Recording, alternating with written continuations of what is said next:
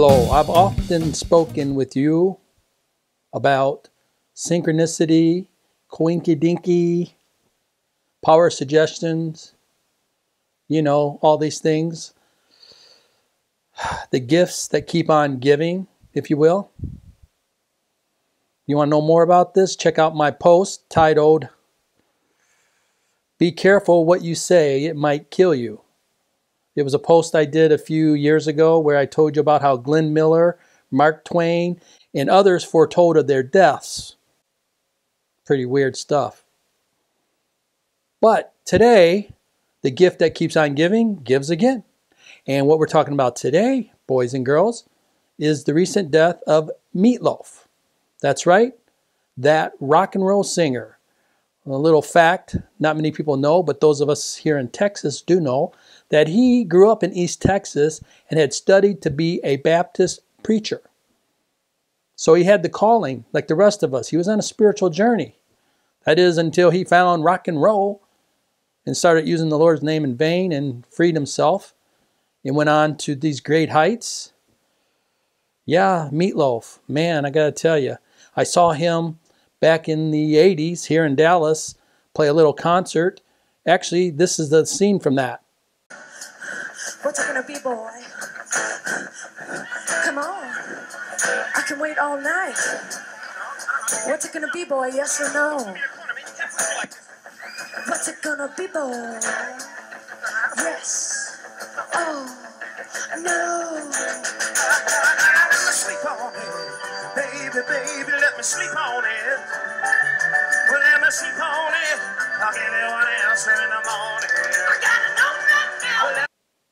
Well, it was the same show. That was a few years before he did it. But I remember, man, leaving there just like, wow, on fire, full of energy, full of the Holy Spirit. Man, I was rocking and rolling.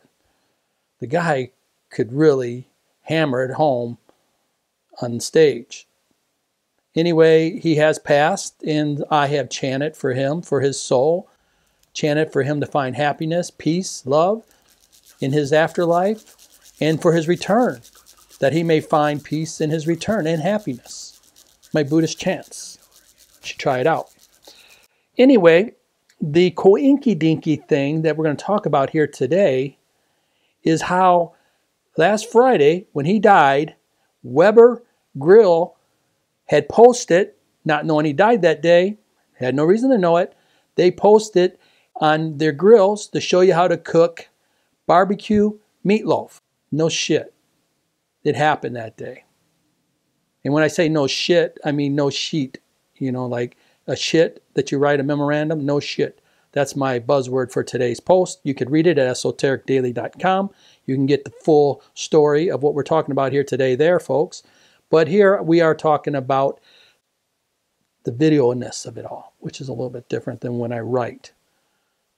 So anyway, Weber retracted that. They, they you know, they then they apologized. But I think it's really funny that that happened.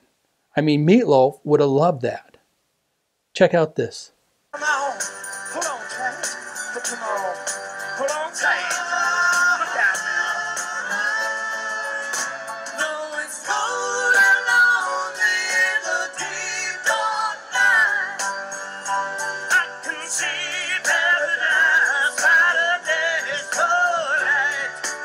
You don't think the guy would have loved this? That they posted a how to cook meatloaf, barbecue meatloaf on the day he died? He's in heaven laughing, or hell, or wherever, you, the afterlife. He's in purgatory, probably, I don't know, wherever you go. But he's there laughing. What is really funny, though, about this is how on the day he died, Weber put that out there. That is so much like the Johnny Darko. If you remember that movie, that dark, crazy, funny, good movie. Serious. You can watch it over and over and over again. You get a little bit more each time. It's built on layers. But the funny thing about Johnny Darko is that it, the day it was released, the same day that planes crashed into the World Trade Center in New York, and so many people died. What was funny is that Johnny Darko was released that day, and in the film, early in the movie, there is an aircraft engine that just comes crashing through the ceiling out of nowhere, no explanation. So, anyway, they had to cut that, stop it, and re release it at a later date because it was just so crazy dark.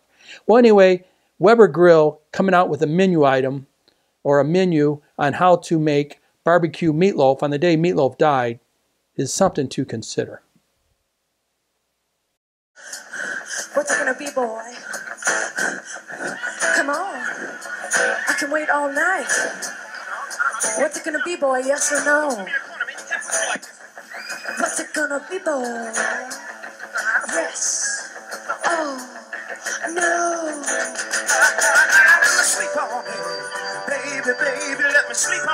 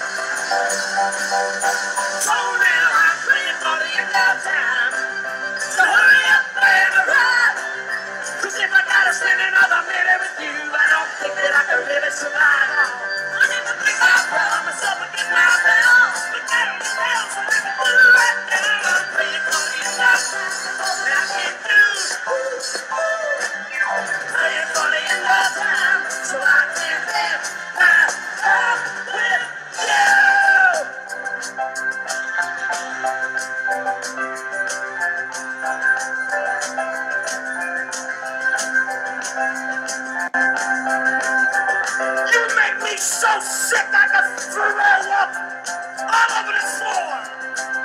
Big deal, fat boy. Oh, shut your goddamn mouth, bitch.